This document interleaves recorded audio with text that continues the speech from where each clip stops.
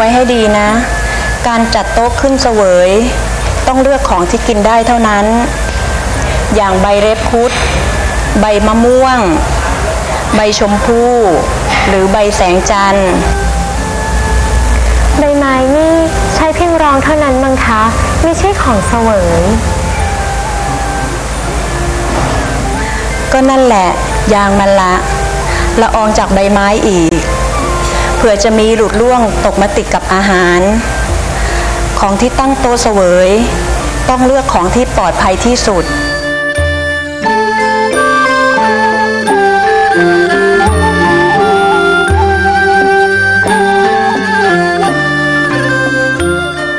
ลูกเงาะควานเสร็จแล้วมั้งคะ พร้อมจัดขึ้นโต๊ะเสวย แต่สำหรับของพระองค์เล็กยังไม่มีเงาะเลยมั้งคะ หมดเพียงเท่านี้เอง เงาะแพงเกินไป ฉันไม่อยากกินหรอก เดี๋ยวฉันปอกมะม่วง หรือพุทรากินก็ได้ มีออกแยะไป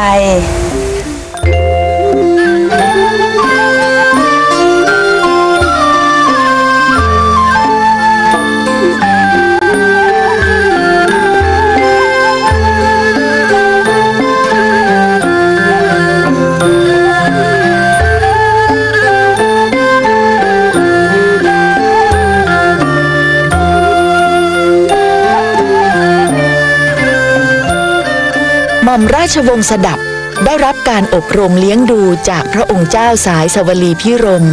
ให้เชี่ยวชาญในเรื่องการครัว ดังมีเรื่องเล่ากันว่า วันหนึ่ง สมเด็จพระเจ้าลูกเธอเจ้าฟ้านิพานพดล พระราชธิดาพระองค์เล็ก ของพระองค์เจ้าสายสวลีพิรม และเจ้านายองค์อื่นๆ ทรงชวนกันพายเรือเล่นที่สระน้ำซึ่งเกิดจากการขุดดินมาถมที่ เพื่อสร้างพระตำหนักในสวนสุนันทา ระหว่างอยู่ในเรือ มีรับสั่งให้หม่อมราชวงศ์สดับปรุงอาหารเพื่อเสวยในเรือ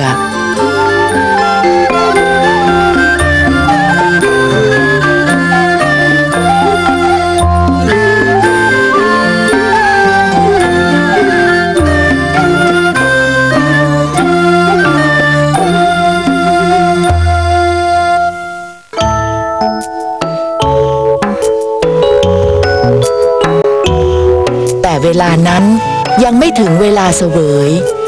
หม่อมราชวงศ์สดับเห็นมีแต่ปลาดุกทอดฟู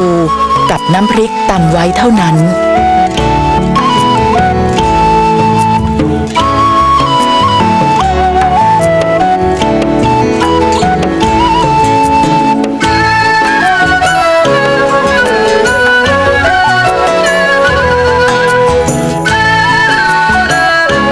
จึงหยิบน้ำพริกกับปลาดุกฟู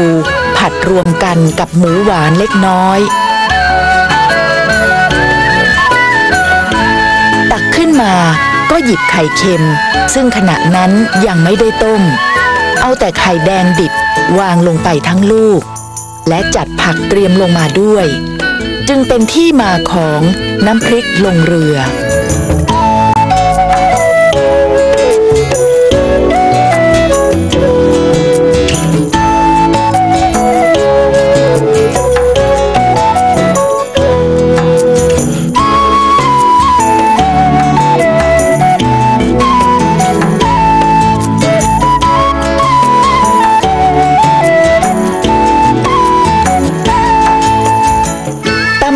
น้ำพริกลงเรือนี้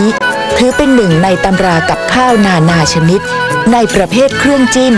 และข้าวสำเร็จต่างๆ ของสำนักพระวิมาดา โดยมีหม่อมราชวงศ์สดับเป็นผู้ให้กำเนิดขึ้นนั่นเอง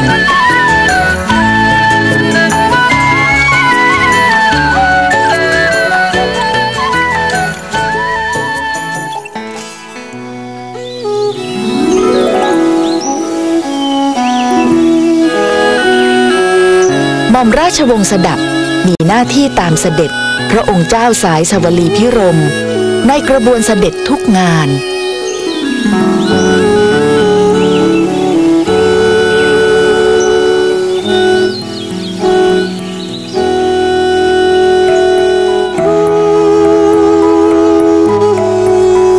ด้วยความที่เป็นคนคล่องแคล่ว ว่องไว เปิดเผย และน่ารักสมวัย เป็นที่โปรดปรานของเจ้านายทุกพระองค์ จนกระทั่งหม่อมราชวงศ์สดับเจริญวัยขึ้น เป็นกุลสตรีที่นอกจากจะมีรูปงามแล้ว ยังมีน้ำเสียงไพเราะมาก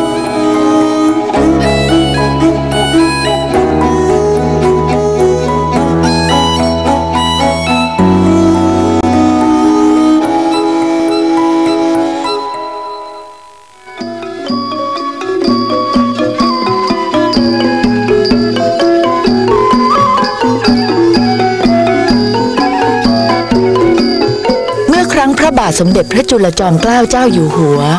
มีรับสั่งให้พระองค์เจ้าสายสวลีพิรม ทรงตั้งวงมโหรี เพื่อบรรเลงขับกล่อมถวาย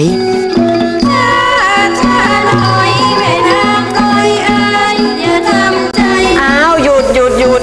นี่พอแม่สดับร้องได้เนี่ยดนตรีก็ตีเพี้ยนเพี้ยนซะอย่างนั้นละนาดเนี่ยก็ตีให้เท่ากับละนาดอีกตัวเขาสิเข้าใจไหมะ เริ่มใหม่จ้ะ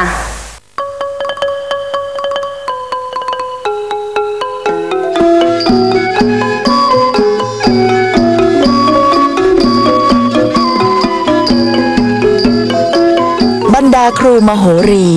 ต่างเลือกหม่อมราชวงศ์สดับ ให้เป็นต้นเสียงของวงมโหรี หม่อมราชวงศ์สดับได้รับพระมหากรุณาธิคุณ โปรดเกล้าโปรดกระหม่อม ให้รับราชการสนองเบื้องพระยุคลบาท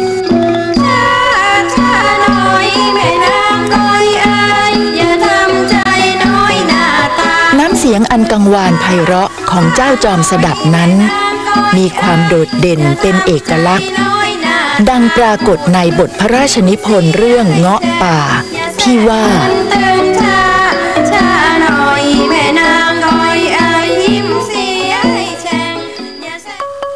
ม่เสียงเพราะเอ่ยน้ำเสียงเจ้าสนอ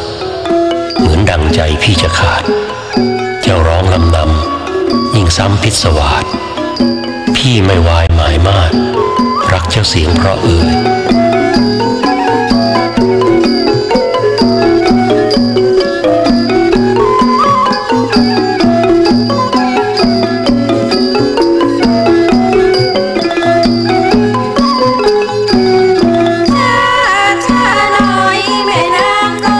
เจ้าจอมสดับ ได้รับใช้ใกล้ชิดเบื้องพระยุคลบาท ด้วยความจงรักภักดี จนเป็นที่สนิทเสน่หา ไว้วางพระราชหฤทัยเป็นอย่างยิ่ง ในงานวันเฉลิมพระมนเทียนใหม่ ที่พระที่นั่งอัมพรสถาน เมื่อปีพุทธศักราช 2449 เจ้าจอมสดับได้รับพระกรุณาให้เป็นผู้ดูแล และจัดงานแสดงละครเรื่องเงาะป่า แทนพระองค์เจ้าสายสวลีพิรม ซึ่งทรงพระประชวร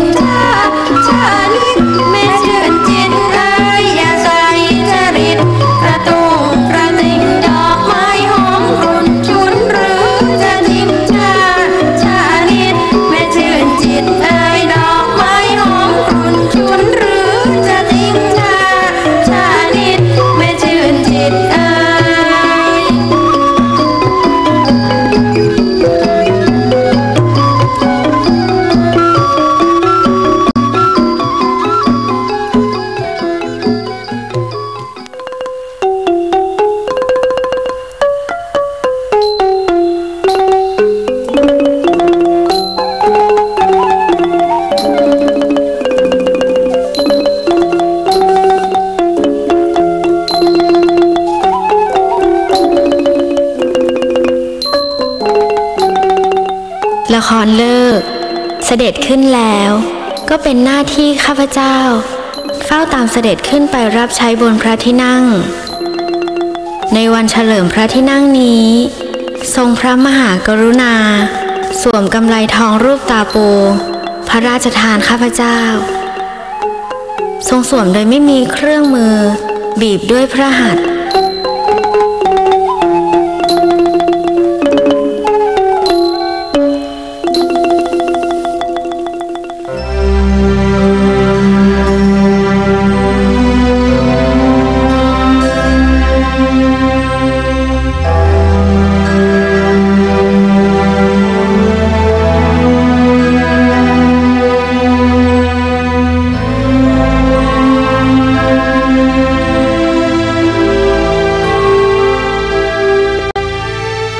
สดับ ได้รับพระราชทานกำไลทองคำแท้ เป็นทองคำจากบางสะพาน น้ำหนักสี่บาททำเป็นรูปตาปูโบราณสองดอกไขว้กันที่หัวตาปู ปลายตาปูลีบเป็นดอกเดียวกัน เป็นวงกำไลที่เนื้อทองของกำไล สลักเป็นบทพระราชนิพนธ์ร้อยกรองว่า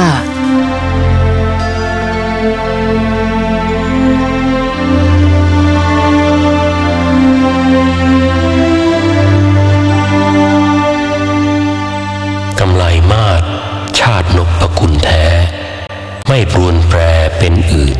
ย่อมยืนสี เหมือนใจตรง คงค่ำร่ำพาที จะร้ายดี ขอให้เห็นเป็นเสียงตาย ตะปูทอง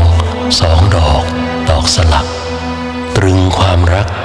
รับไว้ อย่าให้หาย แม้นรักร่วม สวมไว้ให้ติดกาย เมื่อใดวายสวาดวอดจึงถอดเอ่ย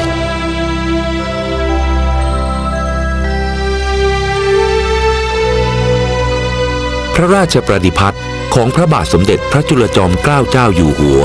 ที่มีต่อเจ้าจอมสดับ ยังคงเห็นได้ชัดเจน ในข่าวเสด็จประพาสยุโรป เมื่อปีพุทธศักราช 2450 เดิมพระองค์มีพระราชดำริจะให้สมเด็จพระเจ้าลูกเธอ เจ้าฟ้านิพานนพดลกรมขุนอู่ทอง เขตขัตติยนารี โดยเสด็จด้วย โดยเจ้าจอมสดับตามเสด็จในฐานะข้าหลวงของสมเด็จหญิงน้อย